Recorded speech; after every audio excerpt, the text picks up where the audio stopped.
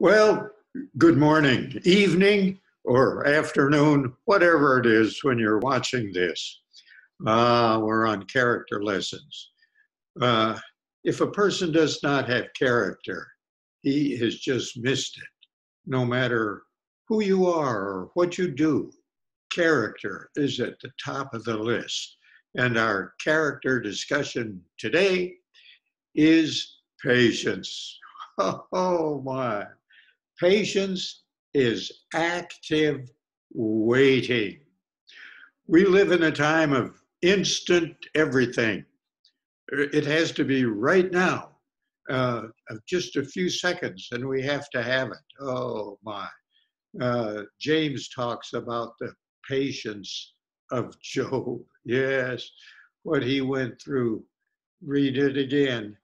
And uh, nothing like any of us have experienced, yet he was patient. And patience is a good and necessary, desirable character trait. What is patience? It's delaying the purchase until you have the cash. That's to your advantage. Patience is delaying marriage until you are sure of the will of God. Now, that would prevent a lot of divorces, wouldn't it?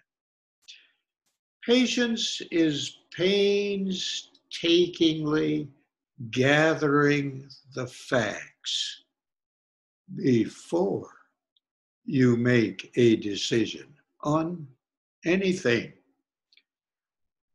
Patience is submissively living with a problem while you are working on the solution to the problem.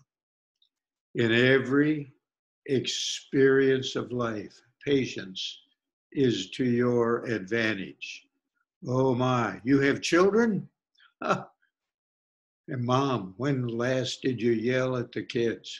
Oh, you lost your patience. That was it.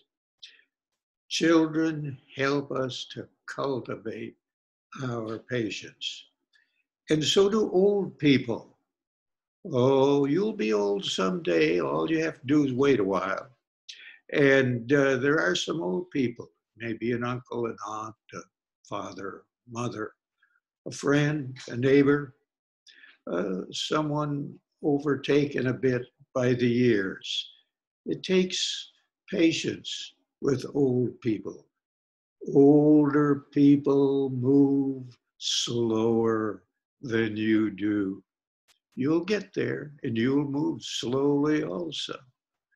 And older people are a bit clumsy at times, and uh, that can be a little bit of a problem.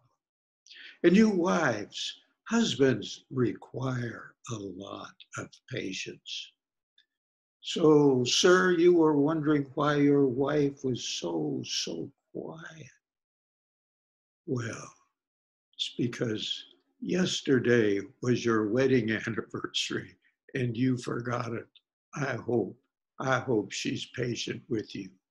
We want people to be patient with us, and we should be patient with everyone.